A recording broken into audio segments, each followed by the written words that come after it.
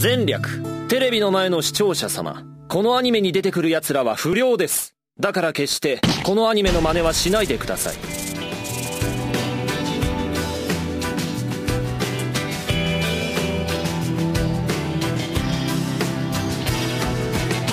僕が泣いているのはとても悔しいからです。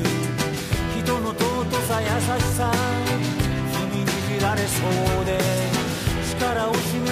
者たちしなやかさを失って嘘まみれ泥まみれじれったい風景でしょう。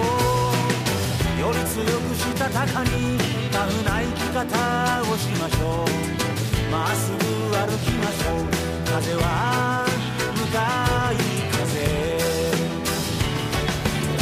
どけどけどけ後ろめたいやつ